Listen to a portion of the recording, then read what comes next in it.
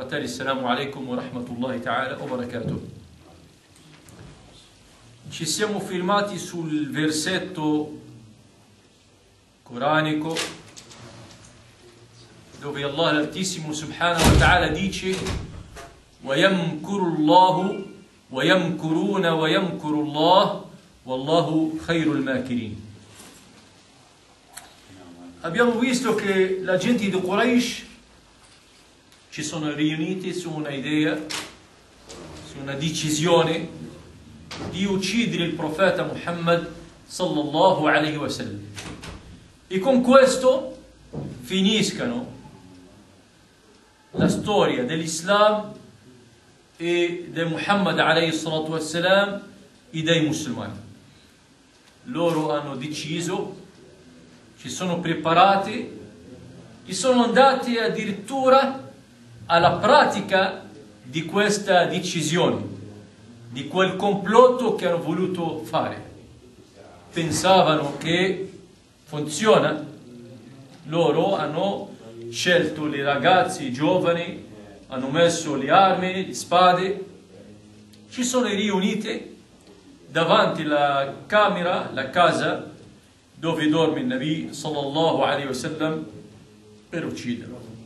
Però come abbiamo visto come dimostra questo versetto, loro hanno voluto, loro hanno calcolato, loro hanno deciso, però hanno dimenticato che c'è, che c'è Allah, che c'è Dio, che c'è Dio. E per questo noi sappiamo questa parola se Allah subhanahu wa ta'ala non ha voluto qualcosa, non sarà mai. Se Allah ha voluto invece qualcosa, nessuno può impedirla. Tanti versetti del Corano parlano di questo concetto.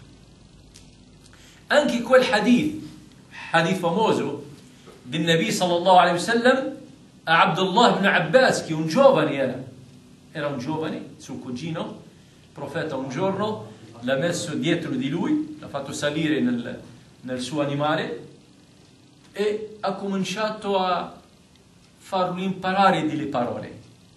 Cos'è che ha detto il Nabi sallallahu alaihi wasallam? Ha detto, Ya ghulam, o oh giovane, inni muallimuka kalimat. Ti imparerò alcune parole. E che parole erano? Erano le grandi regole di questa fede islamica, di questa religione. Cos'è che ha detto il Nabi sallallahu alaihi wasallam? Protegga Allah, Allah ti proteggerà sempre. Sarà con Allah, Allah sarà con te sempre. Ricordati di Allah in momenti di felicità di benessere, si ricorderà di te nei momenti di difficoltà e di prove. Poi alla fine le ha detto, guarda, se tutta la gente, se tutta la gente si incontrano per farti un male, non possono mai farlo se non ha voluto Allah.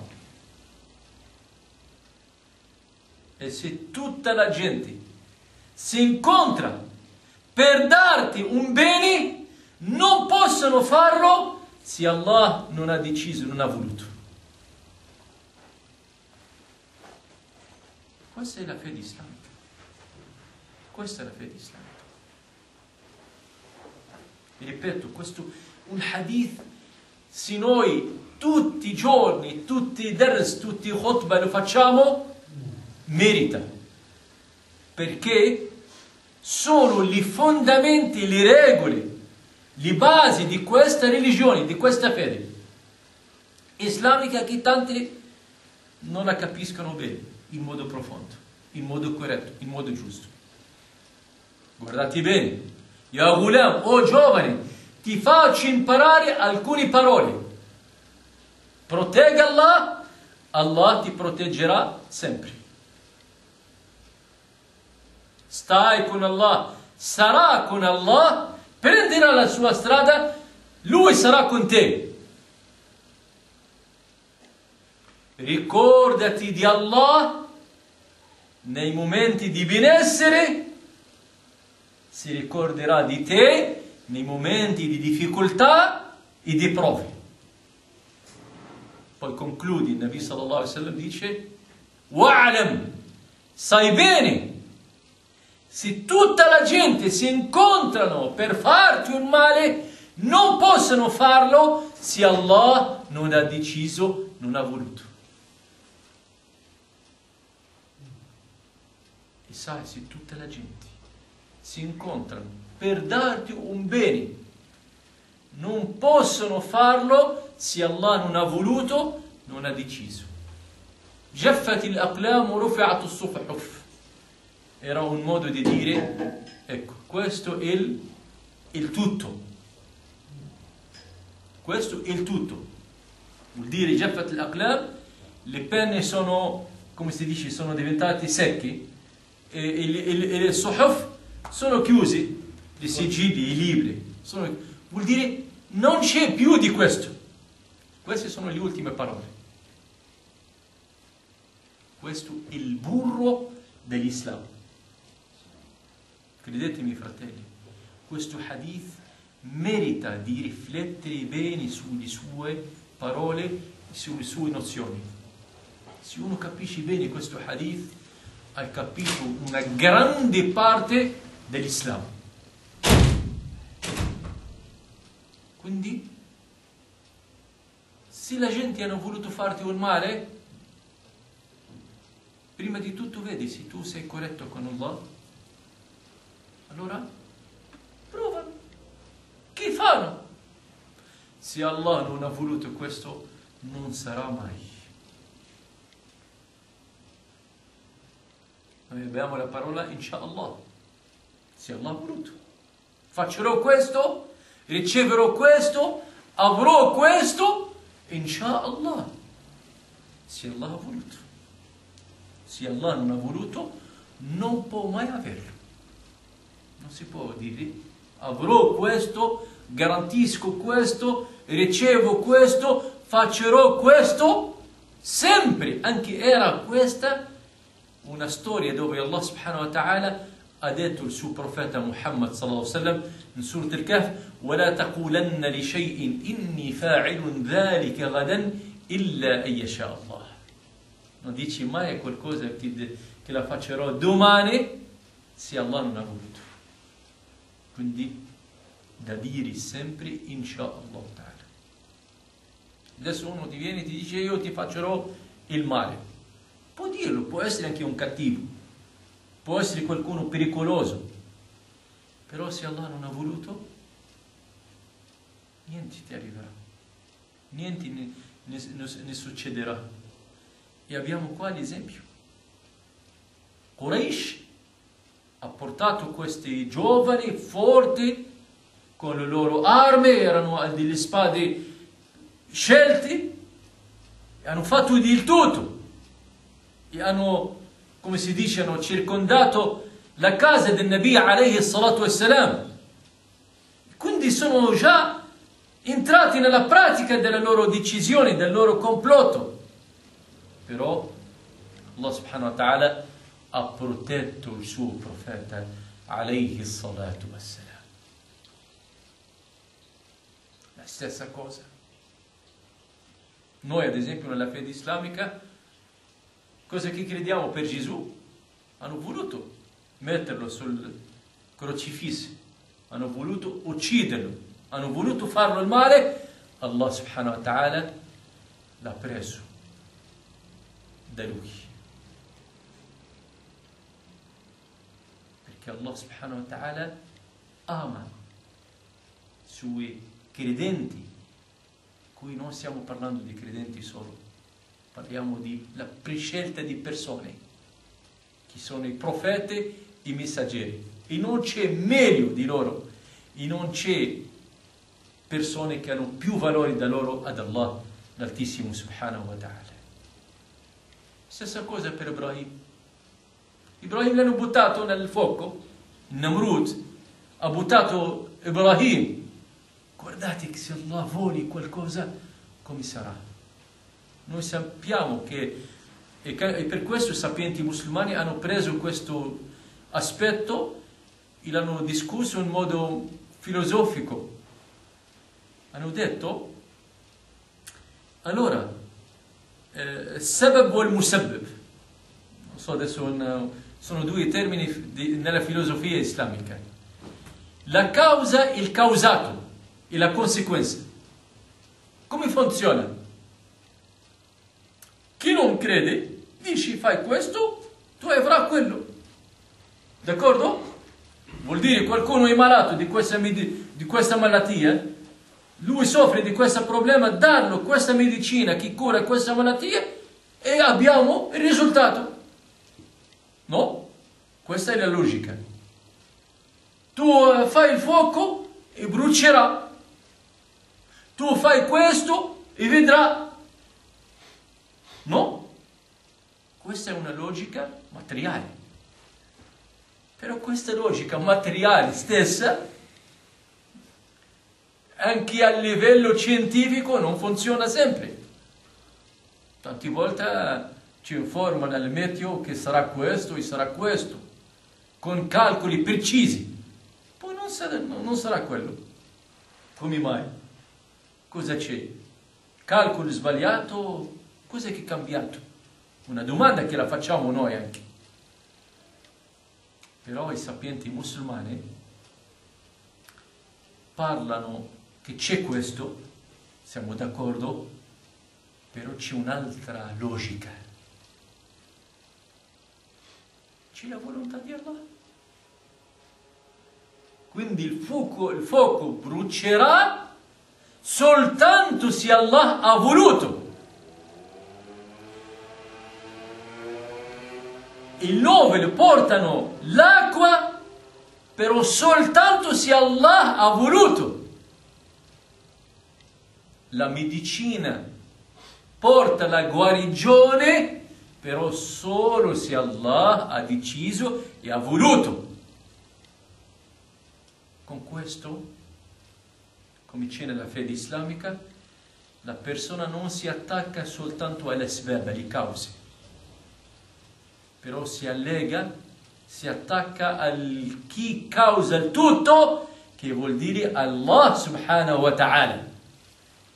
Tu sei malato, devi prendere quella medicina e devi andare dal medico e devi andare dal specialista. Però la speranza da chi? Tu la prendi da chi? La, la guarigione da chi viene? Dall'Allah l'Altissimo. Dobbiamo essere chiari su questo. Questa è la fede islamica. Quindi Allah subhanahu wa ta'ala ha detto al fuoco di essere freddo e pace per Ibrahim a.s. Il fuoco di solito, se uno lo buttiamo nel fuoco, non è che andrà per fare, come si dice, una, una doccia, una, la spiaggia. Però per Ibrahim Allah l'Altissimo ha ordinato al fuoco di non farlo il male. Tra parentesi abbiamo anche un'altra regola. Noi nella fede islamica, i shahidi, i martiri, i profeti, la terra non ha il diritto di mangiarli. Quindi il loro corpo rimane intatto come ha voluto Allah subhanahu wa ta'ala. E questo è un valore dato da Allah subhanahu wa ta'ala per i profeti, per i messaggeri e per shahid che hanno un grado molto alto. A terra di solito mangia. Noi mettiamo uno, nel, seppelliamo uno nel, nel, nel cimitero, nella tomba e dopo alcuni mesi troviamo che è finito, è passato, non, più, non c'è più il corpo, la terra ha preso tutto. Mentre per questa categoria di agenti la terra non può fare lo stesso effetto. Con l'ordine da chi?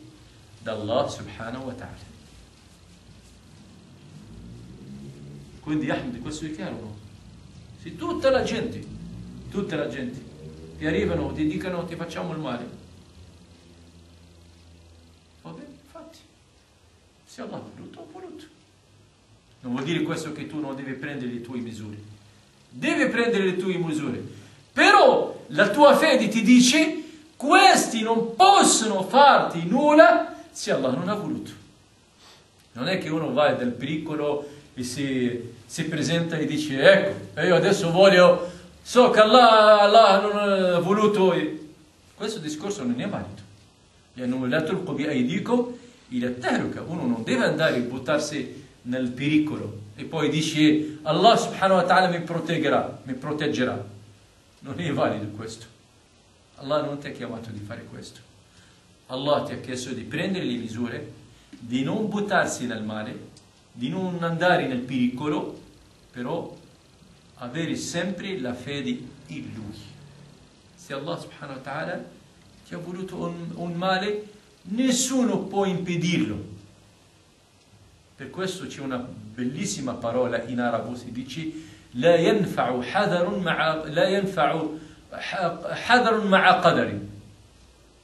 Vuol dire se è arrivato il destino di Allah, non serve nulla di, le, le precauzioni non servono se tu hai preso questa misura e questa e questa e quelle ci sono certe persone ad esempio hanno paura della malattia. Hanno paura della malattia e vivono con questo. Come ad esempio adesso citiamo il caso di, di Michael Jackson. A un certo momento viveva con cosa? con un mask per non avere la, la, l'aria come tutti per non essere toccato di, di, di certe malattie, di certi virus, di certe questo, di certi altro esagerato nel senso noi andiamo a fare il Hajj o vai tu in Africa e vedi la gente come vivono poi non sono toccati di malattie. No? Quei bambini che sono in Africa, tu vai a vedere come vivono. Sono protetti di Allah subhanahu wa ta'ala, malgrado che a livello materiale vivono con tutte le condizioni che portano in malattie. E forse saranno più sereni da noi. Subhanallah ta'ala. Chi ha voluto questo? Allah subhanahu wa ta'ala. Non lo so se è chiaro, questo non è chiaro. Se no approfondisco ancora. Quindi Allah subhanahu wa ta'ala ha detto al fuoco, ha ordinato, ha ordinato al fuoco per diventare pace e freddo per Ibrahim alayhi wassalam. Namruda ha voluto, ha, si è andato per fare il male a Ibrahim, però ha dimenticato che lui è protetto di Allah subhanahu wa ta'ala. Lui, come Yunus alayhi salam, e questo è il miglior dua. Quando uno è toccato di una prova, cosa deve dire? Come ha detto il Nabi sallallahu alaihi wasallam, deve invocare Allah col dua di Yunus alayhi salam. Cos'era il dua di Yunus? سبحانك ربي لا إله إلا أنت إني كنت من الظالمين لا إله إلا أنت سبحانك إني كنت من الظالمين Era questo il dua di Yunus e con questo è stato salvato, alayhi salam. لا إله إلا أنت, ripeto il dua, لا إله إلا أنت سبحانك, لا إله إلا أنت, Gloria a te, subhanak, inni kuntu min al-zalimin, ero ingiusto. Con questo Allah subhanahu wa ta'ala ha salvato Yunus alayhi assalam. Quindi la gente di Quraysh hanno voluto, hanno calcolato, ويمكرون ويمكر الله والله خير الماكرين calcolo di Allah più perfetto, più giusto e più forte. E più forte. Nessuno può, come si dice, combattere Dio. Nessuno. Nessuno. Non può, non può. Vai con, contro cosa? Vai contro la volontà di Allah? Vai la, contro la, la sua decisione? Impossibile. Allah subhanahu wa ta'ala qui ha deciso di proteggere il suo profeta e il suo messaggero. Sallallahu alaihi wasallam. Sono andati, come ho detto prima, si sono trovati davanti alla casa, hanno circondato la casa del profeta والسلام, con le loro spade, aspettando un momento per entrare e ucciderlo. Loro hanno cercato di farlo in nascosto, nel mezzo della notte. Allah Azza wa Jal ha ordinato, ha ordinato al suo profeta Muhammad wasallam di non dormire quella notte lì a casa. Ha ordinato al suo profeta di andare. Era un ordine. Allah, Allah subhanahu wa ta'ala sa il tutto. E nessuno può avere la scienza di Allah subhanahu wa ta'ala. Per questo bella la parola che noi diciamo sempre, un fratello mi ha chiamato questi giorni per chiedere il significato della parola Allahu A'lam. Cosa vuol dire Allahu A'lam? Mi approfitto ancora di spiegarla questa, inshallah ta'ala. Che questa frase, questo modo di dire, ha due significati, o si usa in due momenti. Si usa per dire che io non so niente del futuro, solo Allah sa, e questo è un rispetto. Allahu A'lam. Cosa fai domani? Allahu A'lam. Ho previsto di fare questo, questo, questo, inshallah, però Allahu A'lam. Non so. La seconda si usa soprattutto nell'ambito della scienza.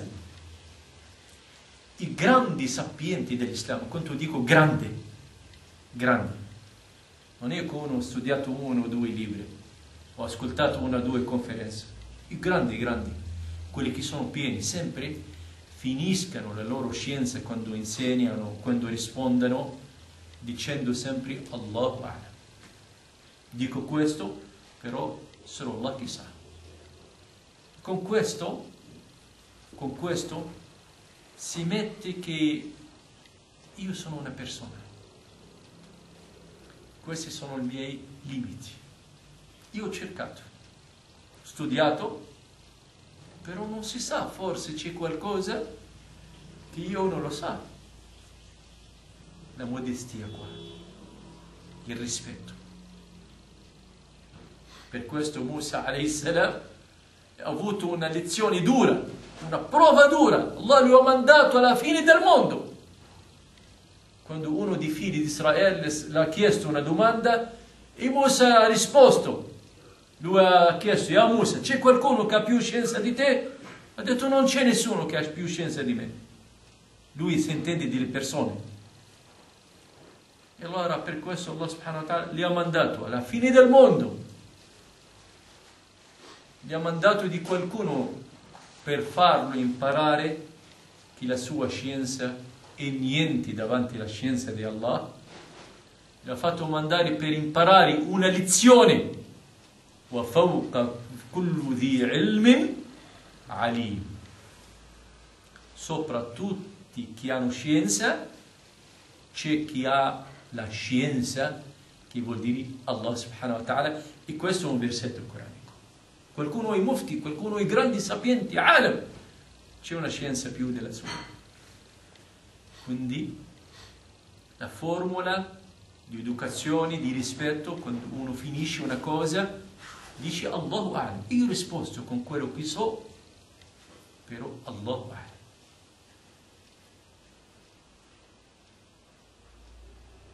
Questi sono i grandi sapienti. Mentre quelli che sono ignoranti, che non hanno scienza, ti dico una cosa confermando che questo è il corretto, il giusto, cioè questa è la verità assoluta. No, questa è l'ignoranza.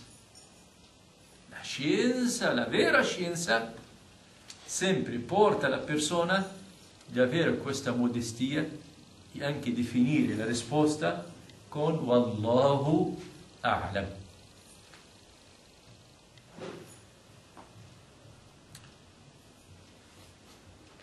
Allora Allah subhanahu wa ta'ala ha ordinato il suo profeta alayhi salatu wassalam di lasciare Mecca.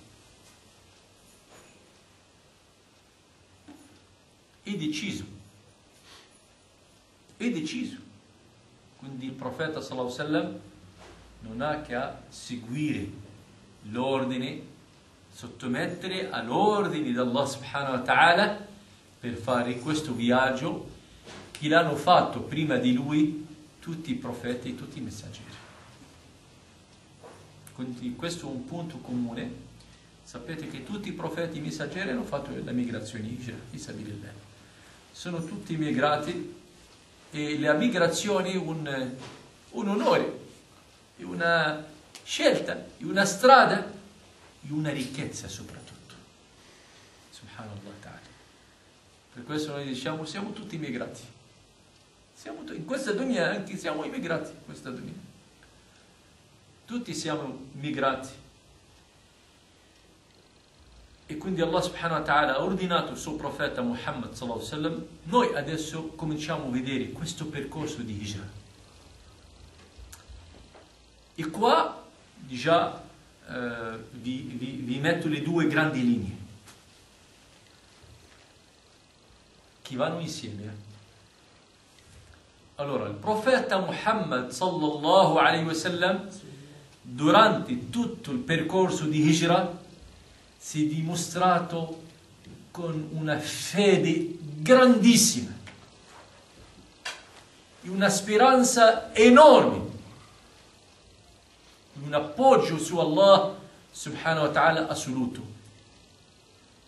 Con questo, questa è la prima linea con questo vediamo anche la seconda linea, che il profeta Muhammad alayhi salatu wassalam ha preparato il viaggio della hijra con un modo, si dico perfetto, poco. Più di perfetto non so se ci sono termini, la perfezione totale. Ha misurato tutti i passi ha calcolato tutti i passi e ha fatto una strategia, un modo ben preparato nel suo percorso. E questo è l'Islam. Questo è l'Islam. Certi, quando tu ne parli, fratello, perché non fa questo, quello? Eh, lascia, Allah ci aiuta. Allah ci aiuta, d'accordo. Allah ci aiuta, d'accordo.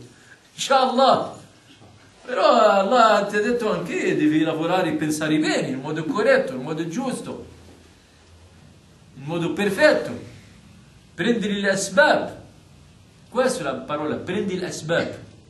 Quindi il Nabi sallallahu alaihi wasallam prima di tutto ha saputo con chi viaggerà.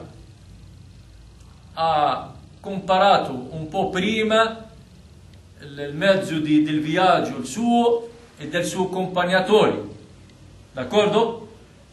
Ha nascosto i due cammelli nella casa di Abu Bakr, la persona la più fidabile al profeta Muhammad sallallahu alaihi wasallam. Non ha parlato con nessuno.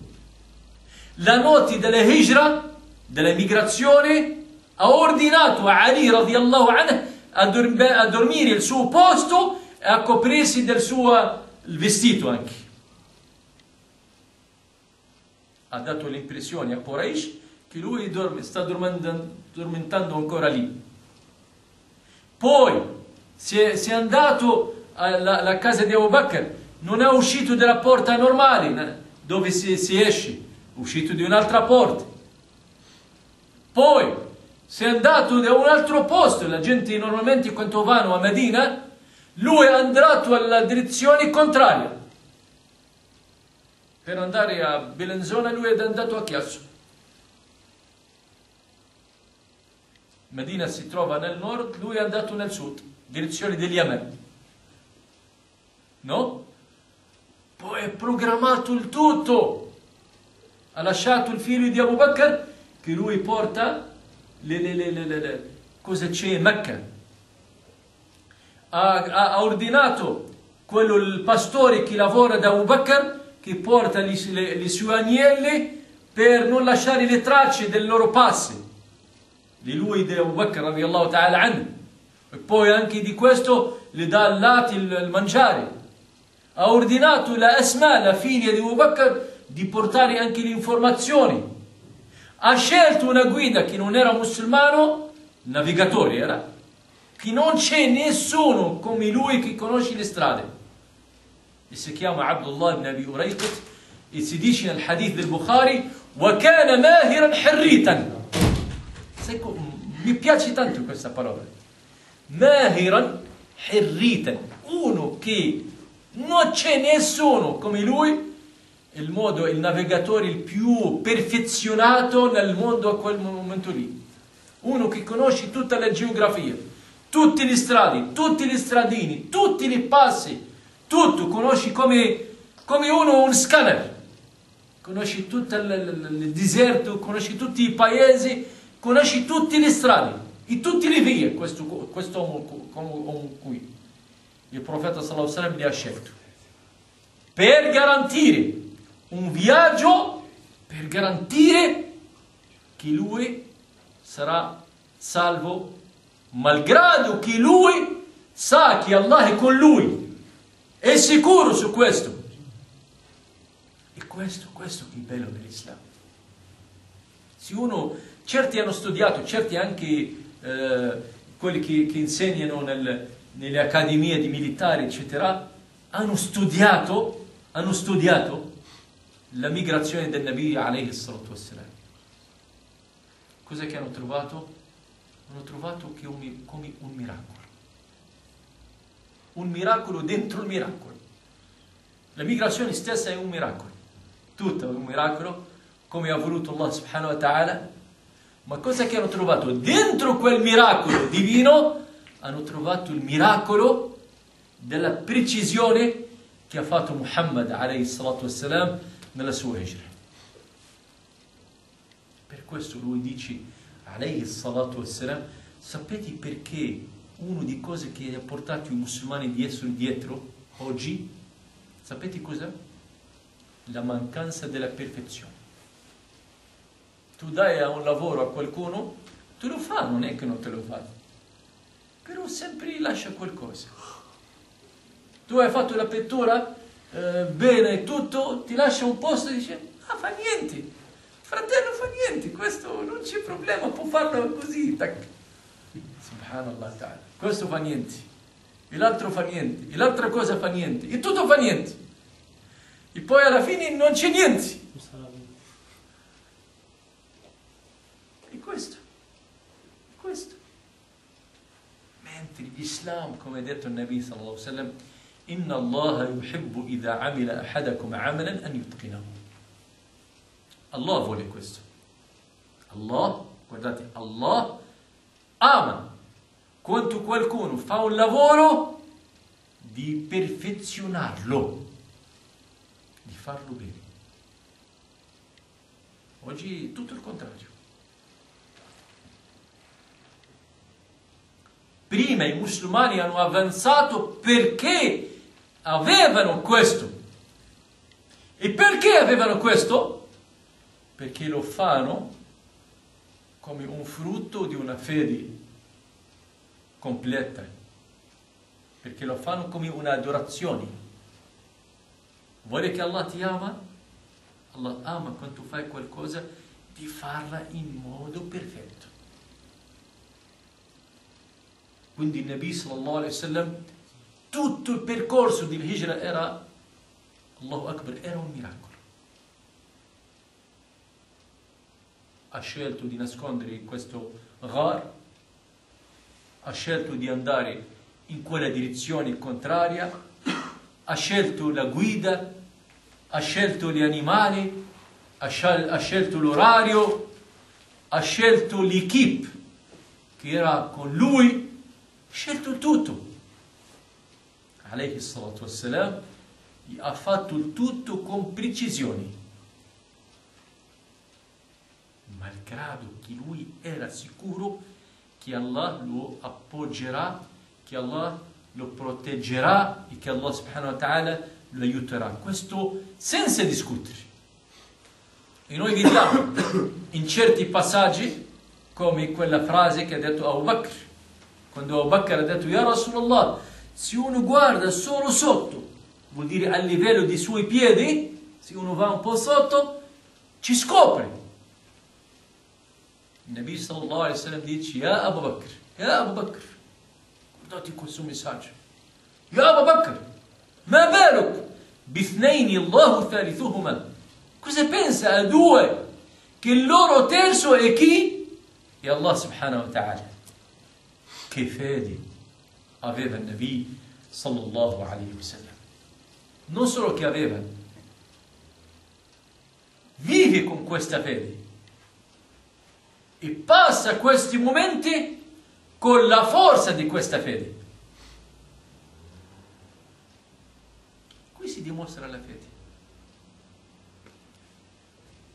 Perché la fede non è solo una parola, ashhadu an la ilaha illallah, so che Allah è mai, però deve viverla, devi metterla in pratica. Quindi il Nabi wasallam erano davanti, erano davanti alla grotta. E Abu Bakr lo dice, ya Rasulullah, era così, spaventato, ha paura, per, non per lui, per l'Islam. Si ci trovano finito l'Islam Il profeta والسلام, gli dava un messaggio di un tra tranquillizzante, un grande tranquillizzante. Abu Bakr, non siamo da soli. C'è Allah con noi. Malgrado tutto questo, malgrado tutto questo, ha calcolato tutto in modo perfetto. Io ho dimenticato prima che il Nabi sallallahu alaihi wasallam quando è uscito da sua casa ha trovato quei soldati, quelle baltaghia di, di, di, di Quraysh con le loro spade e del miracolo uscito ha messo la sabbia, la terra sulla loro terra, sulle loro tette tutti. Passando un uomo ha trovato questa gente di Quraysh così. Questi soldati stanno aspettando come. Ha detto cosa fate qua? Stiamo aspettando Muhammad che dorme. Stiamo aspettando di che lui esce per la preghiera e noi togliamo la testa. E ha detto, eh, Muhammad già si è andato già. Ma vedete, vi ha messo anche la terra, la terra sulla testa. Come mai? Ma noi lo stiamo guardando e lui lì, lì che dorme. Si è detto, vai, vai, andate, andate a trovare, vedete, cercate, verificate. Cos'è che hanno scoperto? Era Ali, radiyallahu hanno cominciato qui, in quel momento, a pulire la testa del, della terra. Si sono svegliati, hanno scoperto che Muhammad sallallahu alaihi wasallam si è andato. Allah l'ha salvato, sallallahu alaihi wasallam. Hanno cominciato con follia, corri destra, sinistra, hanno fatto, come si dice, un alert generale alla fine hanno detto trovate Muhammad vivo o morto, chi lo trova avrà 100 cavalli o 100 camelle, che era una cosa enorme.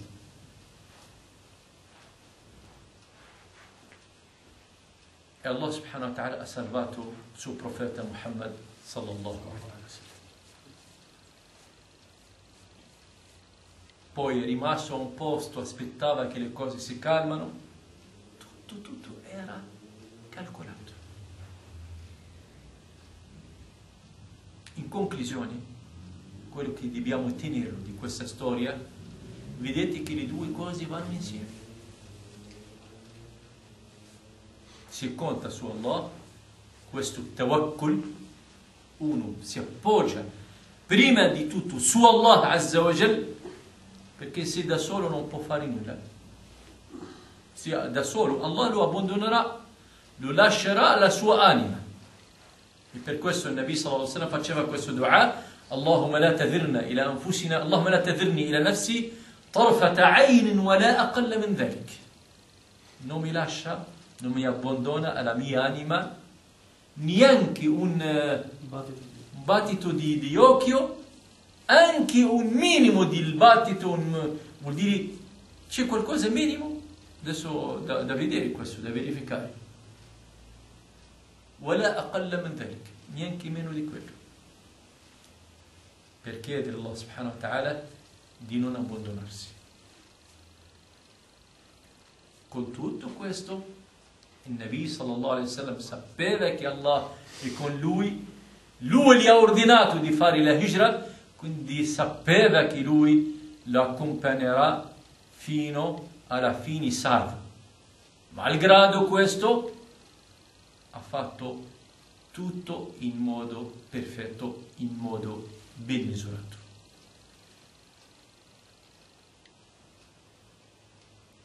E questo è l'Islam, alla fine. Perché questo modello davanti a noi, come ha detto Aisha radiallahu ta'ala anha, كان رسول الله صلى الله عليه وسلم كان قرآنا يمشي lui il Corano che cammina sulla terra è questo se vogliamo vedere l'Islam ecco il modello ecco l'esempio del Nabi sallallahu alaihi wasallam uno ad esempio si vuole passare un esame si vuole fare arrivare là fuori impegnati però conta su Allah prima di tutto non pensa che il tuo impegno ti porterà non pensa che il tuo impegno ti salverà, non pensa che il tuo impegno da solo ti porterà dei frutti. Senza l'appoggio, senza l'aiuto di Allah non può fare nulla, ma dobbiamo, dobbiamo anche saper prendere le misure e lavorare in modo corretto, in modo eh, eh, eh, preciso, come ci ha insegnato il Nabi عليه الصلاة والسلام in questa storia.